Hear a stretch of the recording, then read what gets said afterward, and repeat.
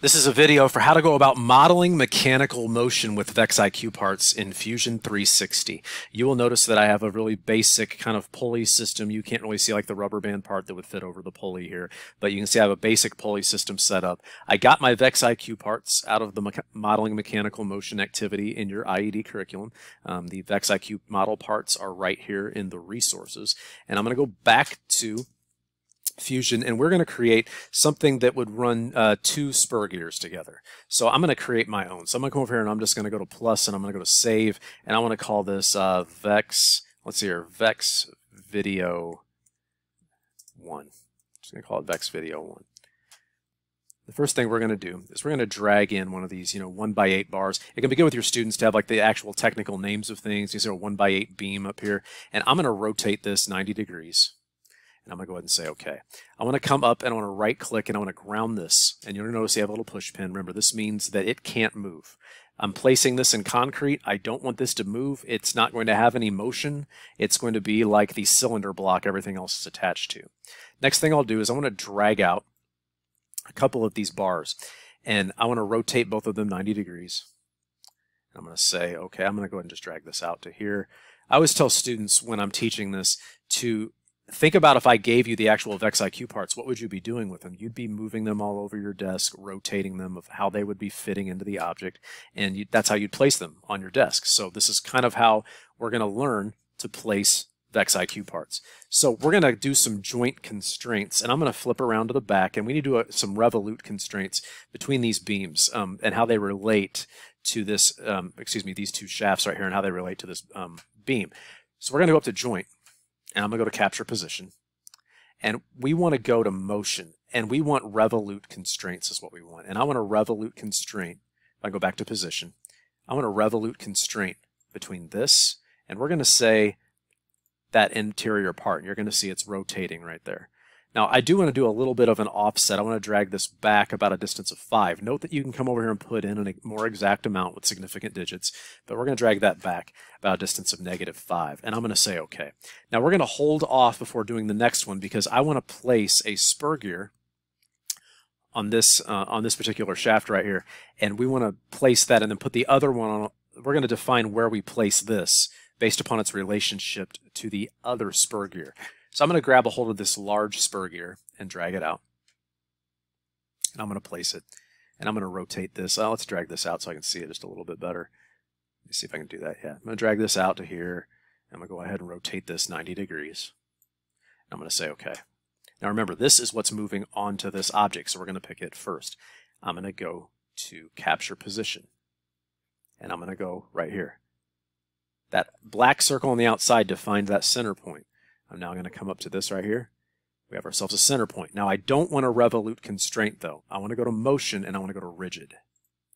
And I also don't want this to rest right on the end. So I'm going to go to the top view looking down on our object. And this is a good way to reinforce the concepts of, you know, how to place objects. And it says negative 10.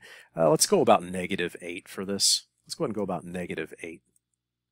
And I'm going to go ahead and say OK we have ourselves a rigid constraint right now. And I want you to notice that as I come up to joints, you're going to see that I have a revolute and a rigid. And if I right click on revolute, you can go ahead and right click on revolute here, and I go to drive joints, you know, you're going to be able to see, or I go to animate model, excuse me, you're going to be able to see this thing rotate.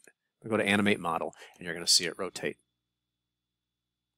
Notice that that spur gear is sitting on there and it's going to go ahead and rotate. Now the next gear we're going to place is one of these smaller spur gears with less teeth and I'm going to drag it out. Let's get it out of the middle here. I'm going to drag it out to here. We're going to rotate this one 90 degrees. Notice we have not placed this other shaft in there yet for a reason. I'm going to go and make sure that's 90. I'm at 95. I'm going to say OK. And the reason is, you know, if I was at my desk putting these physically together, I would be kind of lining these up. Well, which fits with what? And like, oh, right about in there is where we would put this other shaft. So I'm going to go ahead and come back. I'm going to go to joint. I'm going to choose right here. I'm going to go to my back view just so I can see a little bit better.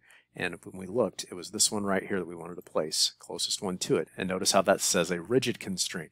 We want a revolute constraint. And we also want to look straight down on the top. And we want to move this back. So if I go to position, Now I can go ahead and drag this back a distance of 5, and I'm going to say OK. I'm going to go to my house button right here. Next thing we need to do is do the exact same thing we did over here. I'm going to go to Joint, Capture Position. I'm going to zoom in. Click on my outside circle here. I come right into the middle up here. That's the one that's moving. We do not want a revolute constraint though.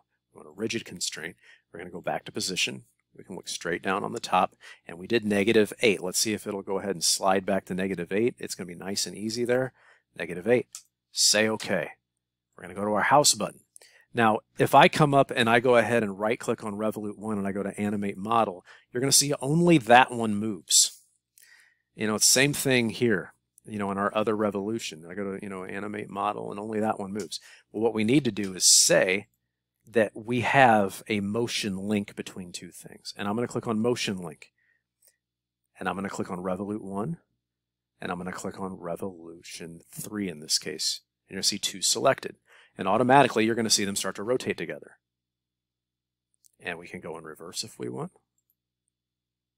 See them move. We can go to our front view, watch them move together. Flip the reverse off. Seems like one's rotating in the opposite direction. This reverse tends to work. You can change the angle.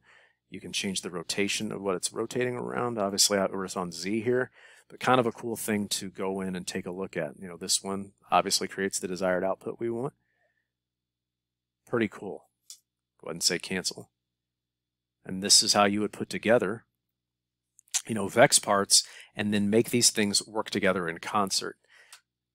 Neat things that you can do with these worm gears, spur gears, change rotational direction. Um, lots of neat things you can do for modeling mechanical motion in Vex. So this is just from the Vex IQ kit. There's a lot of other things that we can do to, you know, change um, directions and do a lot of different things with Vex. So this is kind of an introductory video for modeling that mechanical motion with your Vex IQ parts. So this has been a video for how to model mechanical motion with Vex IQ parts from your engineering design curriculum.